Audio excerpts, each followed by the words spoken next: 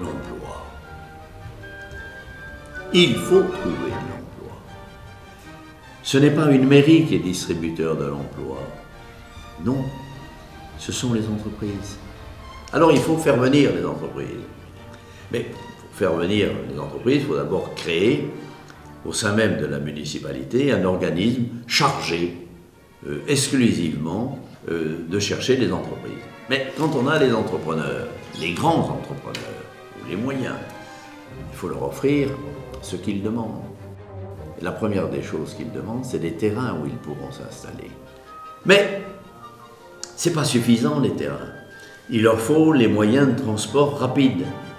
Une fois résolus les terres à mettre à disposition, les problèmes de transport pour y venir et pour circuler à l'intérieur, ben, il faudra du logement.